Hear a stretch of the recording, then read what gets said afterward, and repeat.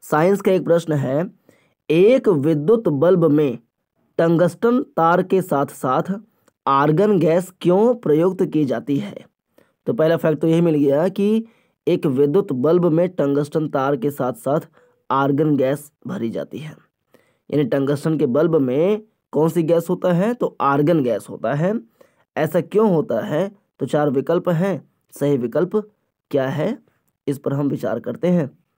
इसका सही विकल्प है ए यानी कि एक विद्युत बल्ब में टंगस्टन तार के साथ साथ आर्गन गैस प्रयुक्त किया जाता है क्योंकि बल्ब की आयु बढ़ाने के लिए, ताकि बल्ब की आयु जो है वो बढ़ जाए।